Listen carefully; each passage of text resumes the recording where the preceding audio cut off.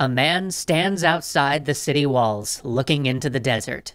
For the last two decades, he has traveled across the Islamic world, from China to Andalusian Spain. Along the way, he had been shipwrecked, kidnapped by rebels, and detained by a mad sultan. The year before, he had crossed Arabia at the height of the Black Plague. But this would be his greatest adventure, a land so remote that few had seen it, but those who did told of its magnificent wealth. Ibn Battuta mounted his camel and prepared to cross the Sahara.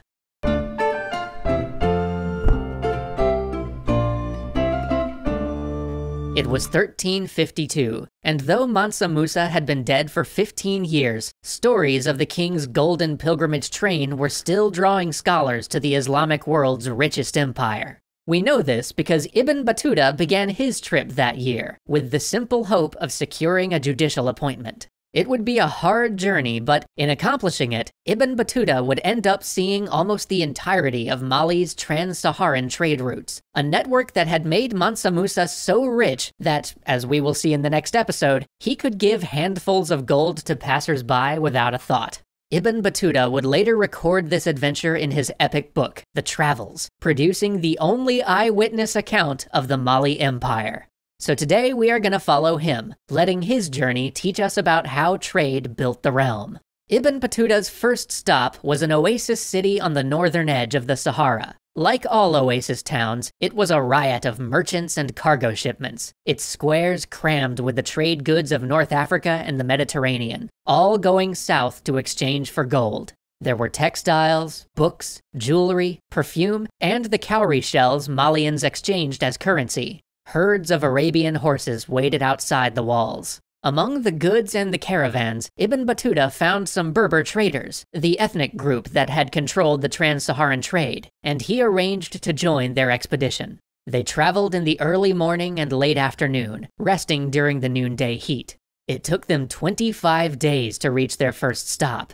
It was a village, he wrote, with nothing good about it.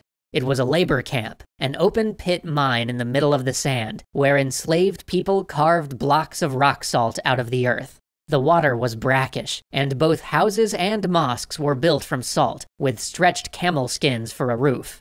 All food was imported on camelback. But despite this desolation, he saw vast amounts of gold change hands. Traders from Mali were buying salt in order to take it south to sell, Ultimately, this salt would go deep into the rainforests, where no naturally occurring salt existed to help people retain water. Without it, the gold miners would dehydrate and die. After the caravan took on water and salt, they headed south. The next stretch was 500 miles with only one oasis. But the winter rains had been kind, and small pools sustained them. Even so, death awaited. One man from the caravan quarreled with his cousin and lagged behind to sulk. They never saw him again.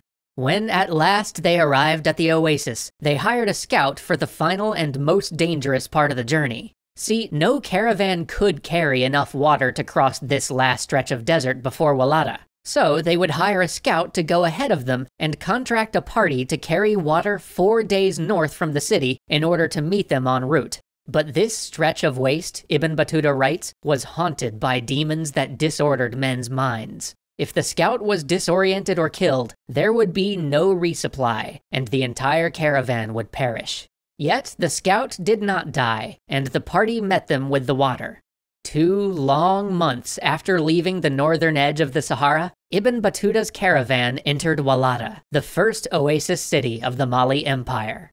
The Berbers declared their goods to the tax officials and paid what was due. Ibn Battuta was thrilled. As an Islamic scholar, he loved to visit pious communities across the world to gauge the spiritual health of the Muslim periphery and exchange ideas with scholars. It had been towns like Walata where Islam first appeared in Mali centuries before, carried on camelback via the Berber caravans. Though Walata was only a mud brick town of a few thousand people, Ibn Battuta would finally meet his first local scholar there. And that is when his enthusiasm crashed against the reality of religion in the Mali Empire. See, Mali was actually only partially converted. Islam was the religion of merchants and the ruling class, people with cultural, political, or economic links to North Africa, but the working people who farmed and mined the all important gold still practiced traditional African religion. Furthermore, many tenets of Islamic law were incompatible with Mali's culture, so most Muslims ignored them. The rulers of Mali had to walk a fine line, fusing Islamic practice with their native traditions in order to keep society together. And here's the thing about Ibn Battuta he was kind of the 14th century version of an obnoxious tourist. No matter where he went, he expected people to behave like they were Islamic scholars from Tangier. And if they didn't, he got judgmental real quick. And unfortunately, this trip to Mali shows Ibn Battuta at his worst. The first problem occurred when he met the local governor. As the representative of the sacred Mansa, the man spoke to Ibn Battuta through a herald rather than directly, which the traveler took as an insult. And though the meal of yogurt and millet the governor served was standard for welcoming guests to Mali, Ibn Battuta considered it insufficient for a man of his rank. He had expected a monetary welcome gift, like scholars received in much of the Islamic world. But here, yogurt and honey? Really? And the culture clash only got worse when he visited the local scholars and judges, and discovered that even the Islamic upper class didn't abide by Muslim laws about gender relations. Here, even pious women went unveiled, and women had a high degree of autonomy. On one occasion, Ibn Battuta informed a scholar that he'd seen the man's wife chatting with another man in the courtyard. When the scholar patiently explained that friendship between men and women was considered good conduct and engendered no suspicion, the traveler was so horrified that he fled the house. What troubled Ibn Battuta about these deviations was that he admired the empire's piety. The people observed prayer times, kept scrupulously clean for mosque, and, in a society where books were rare and expensive, insisted that children memorize the Quran. Admittedly, they used methods that would be frowned upon today, but still. And as he traveled toward the capital, he marveled at the country's security. Once within the boundaries of the empire, he could travel alone without fear of bandits. This was by design. Mali possessed a strong, capable military, which existed mostly to enforce taxes and ensure that banditry didn't endanger the all important trade routes. According to Ibn Battuta, their justice system was fair and disciplined. If a foreigner died in Mali, instead of pillaging the man's trade goods, the government turned everything over to a trustee until the man's relatives claimed it. However, upon reaching the capital, Ibn Battuta was disturbed to find how deeply African religion and culture influenced the court. Young women, like the Mansa's daughters, walked about topless in the palace. Festivals included folk dances and masked performances that he considered absurd and pagan. It rankled him that courtiers washed themselves with dust when the Mansa spoke to them, and that soldiers stood in front of the emperor to tell their service in battle, while others twanged their bows to confirm that they had witnessed the heroic deed. But he did finally get a welcome gift from the emperor three bread cakes, a piece of beef, and a calabash of sour curds.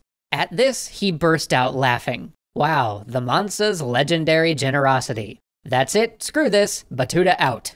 But Ibn Battuta's touristy reactions do tell us something interesting about Mali. Due to its geographic separation, Mali had assimilated Islam rather than been absorbed by it, creating a religiously tolerant, pluralistic society. It was a proudly West African empire with its own identity, and it wasn't gonna just leave its traditions behind to adopt this new religion. Indeed, Mali seemed to have intentionally kept foreign influence at an arm's length. Ibn Battuta never got to visit the gold mines, and that was intentional. The Malian government kept foreigners away from its most precious resource, bringing gold to be exchanged at trading hubs rather than exposing the location of their mines. It was state security, Mali's economy ran on gold, producing around two thirds of the world's supply, with its economy supported entirely by demand from the Islamic states and Christian Europe, which had recently abandoned silver in favor of this fancy new metal. But before he left, Ibn Battuta would have one more journey along the trade routes. East along the Niger River to the city of Timbuktu, a developing hub between the desert caravans and river traffic.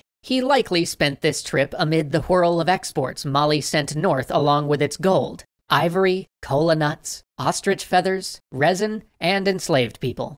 And, of course, the gold Ibn Battuta had finally received after complaining to the Mansa's face. As he watched the river slip by, he no doubt thought back on the stories he'd heard in Cairo about Mansa Musa's generosity and piety, the unimaginable wealth of his pilgrimage train, had those just been tales this whole time?